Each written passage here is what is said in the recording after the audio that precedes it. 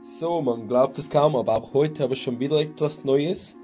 Das ist der zweite Kopf von Somo, den, der in Zusammenarbeit mit Alpaca entstanden ist.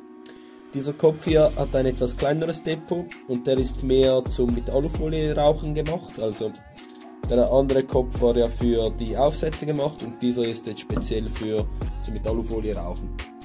Es gibt verschiedene Farbvarianten von dem Kopf und man sieht hier hat es im Funnel kleine Ein Einbuchtungen. Das ermöglicht einen besseren Durchzug und verhindert, dass der Funnel verstopft wird. Ich werde mir heute ein Köpfchen von Aquamenta bauen und zwar Aqua Black Box. Das ist ein Beerenmix ähm, aus schwarzen Beeren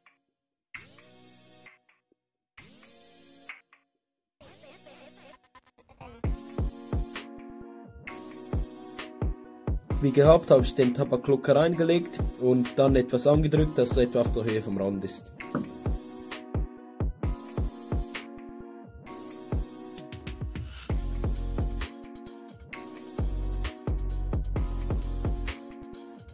Da der Kopf hier oben, wie schon gesagt, ein etwas kleineres Depot hat, werde ich wieder mit einem Sieb von einem Kaminaufsatz rauchen.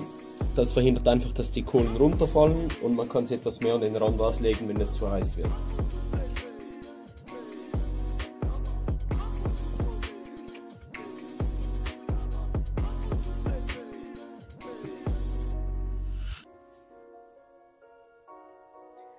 So, dann komme ich wieder zum Fazit. Also wie ihr seht, das Ganze qualmt extrem gut. Ich kann es nur immer wieder sagen, auch Aquamenta kann man super im Funnel rauchen. Also es gibt einige, die sagen, er läuft nicht so gut im Funnel, aber da kann ich wirklich widersprechen. Das Ganze läuft 1A. Auch geschmacklich ist das Ganze top. Also es ist nicht ganz einfach, einen Flavor aus irgendwas rauszuschmecken. Es ist einfach vor allem eine süße Note. Mir schmeckt der Tabak sehr gut, also es ist wirklich einfach sehr süß und lecker, also süßfruchtig.